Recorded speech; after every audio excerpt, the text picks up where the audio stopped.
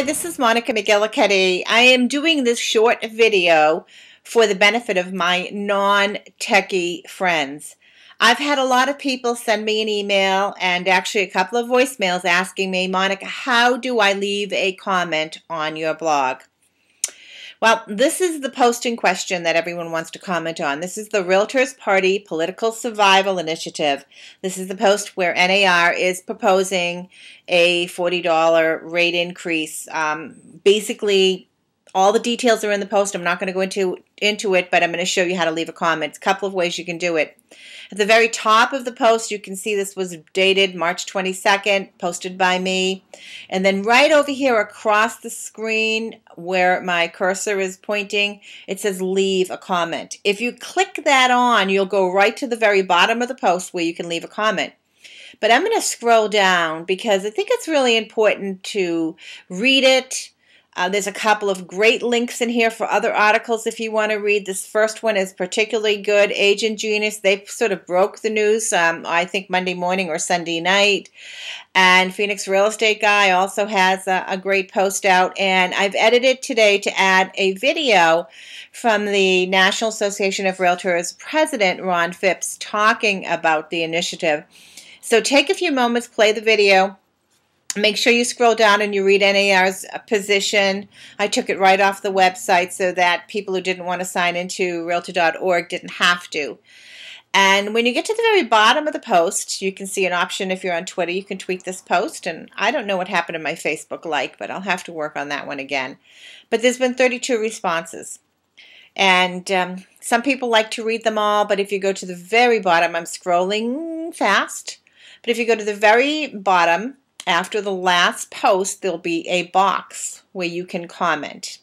That's assuming you want to read them all. You'll have to put in your name, it's required, and an email address. It, the email address won't be published, so nobody will have at it. You can also add your website or your blog site here. And then in this white box is where you're just going to type away you know, give NAR your opinion. Let us know what you think about this. But, you know, make sure you've read the post and you've listened to the video and all of that. Before you hit this little submit comment button, we have this what we call CAPTCHA code right here. And you can see it's 8, not 8P7B. So I always tell people if you're going to write a long comment to right click and copy it because if you mess this up, it'll probably disappear. This code is basically required because we get, literally, Jay and I get thousands of spam comments on our blog a day. And you can imagine it's a nightmare to weed through. So uh, spammers won't bother with this code and they'll go into the spam box.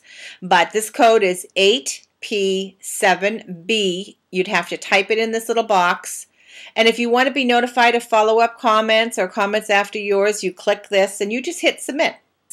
We certainly, um, you know, are not going to kick something out because we don't like the opinion. So everything is pretty well posted as is. But yes, you're going to need your name, your email address. Uh, website's option, optional, of course. But if you're curious about where to get these little pictures that show up, it's called a gravatar.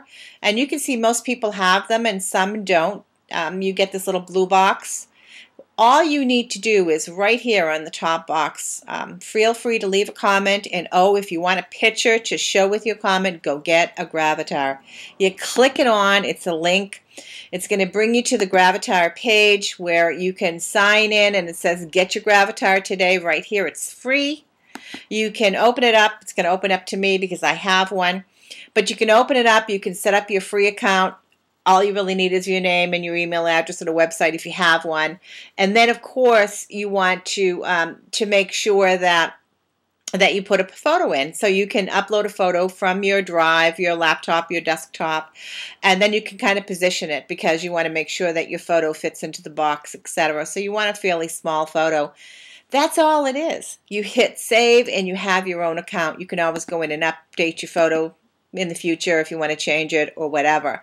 But going back to NH Realty Scoops to the blog in question, if you don't want to scroll down, if you don't want to read all the comments, um, if you've already been here before and you just want to leave another comment, right at the top of the post to the right hand side, it says leave a comment. If I click this open, it's going to bring you right down to the bottom of the post again, and you can put in your name, you know, and your address, etc. If you've been on the blog before and you've written a post before, it would automatically probably show up for you. You won't have to retype it. It's only the first few times I think that that happens. So, love to have your comments, love to have your feedback on this. This is an important issue. But make sure you, you read the post and you listen to Ron Phipps. There's lots of pros. There's lots of things that we need to be concerned about, and there certainly is a lot of people that are dead set against it. This will be coming to vote in May, so I would really love your input. So that's it in a nutshell for all of my non techie friends. How do you leave a blog? I mean, how do you leave a comment on NHRealtyScoops.com? Very easy to do. Hope you enjoyed the little video.